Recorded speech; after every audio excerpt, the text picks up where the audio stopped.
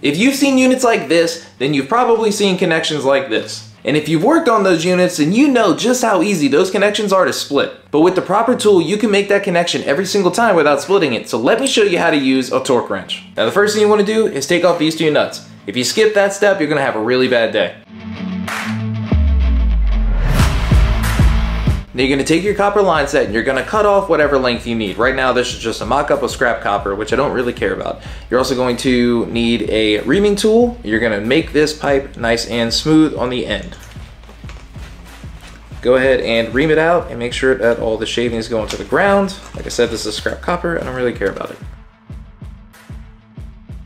Once that is complete, you're gonna take your two nuts and you're gonna slide it over onto the copper. Do not skip this step because it will force you to do it.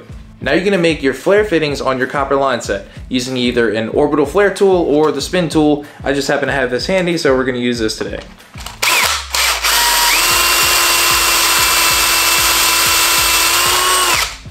Be careful, it does get really hot.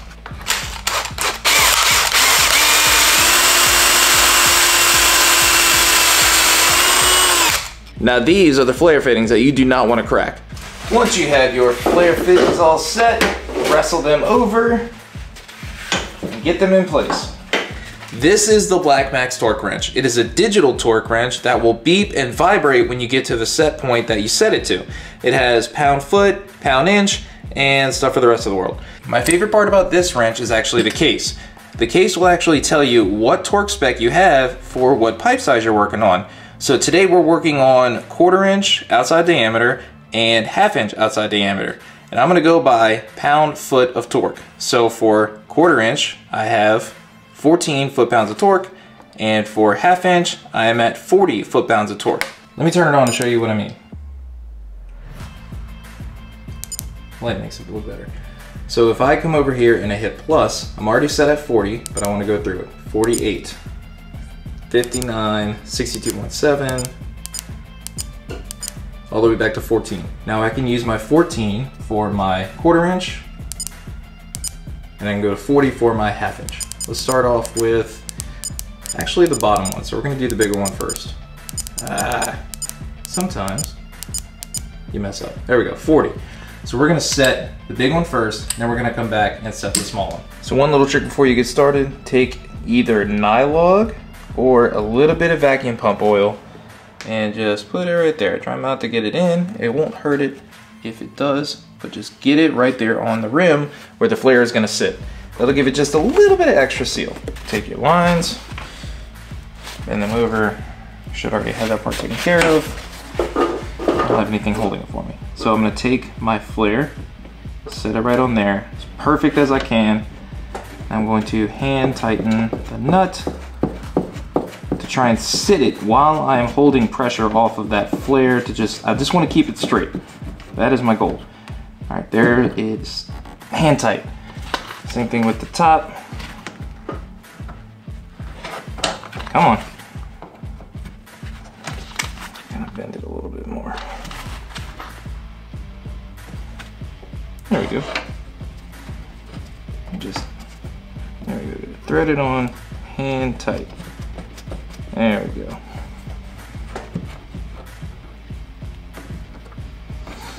All right, take a normal crescent wrench, tighten it up until it gets, I don't know, crescent wrench tight. You're not gonna hit 40 foot-pounds of torque with this crescent wrench. Just doing this, trust me, you're not gonna hit it. All right, that's tight enough. This one, you just kind of go by feel. Just don't go too crazy, tighten it up a little bit. You wanna get it to where that torque wrench is gonna be that last little push. And I tell you what, the little ones are always just a little more difficult to get right. Okay, let's call that crescent wrench tight. I flipped it around so you can see the screen better.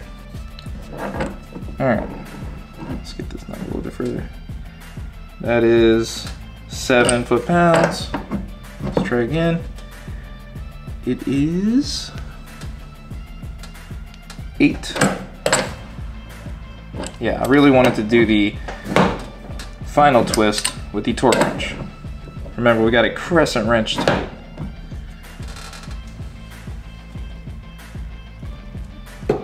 Twenty, three, thirty. Okay. Reset. Uh, come on. One more time.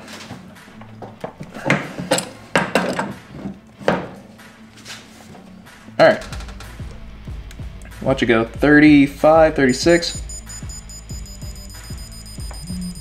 There we go. That's the beeping. That is the vibration to make you feel that you finally got to where you were going. All right, we're gonna do the same thing with this one. 14.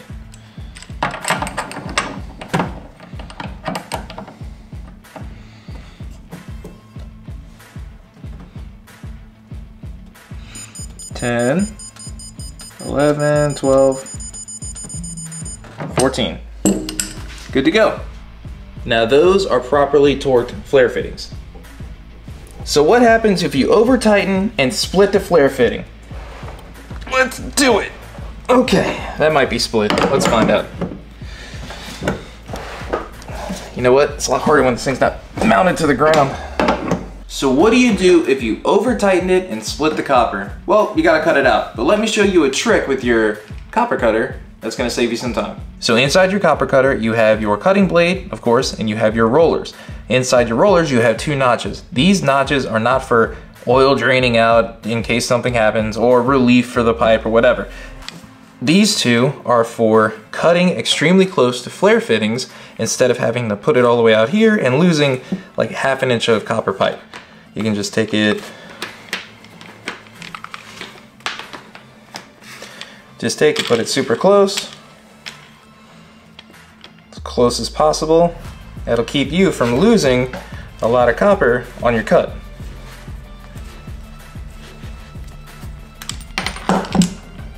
That's all you had to do. You only had to take off a little bit. Now you don't have to try and pull extra copper to come to you. You basically had that much to make up anyway.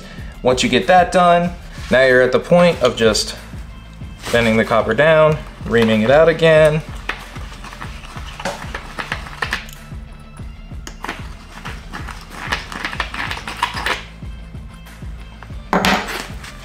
Flaring it with your favorite tool.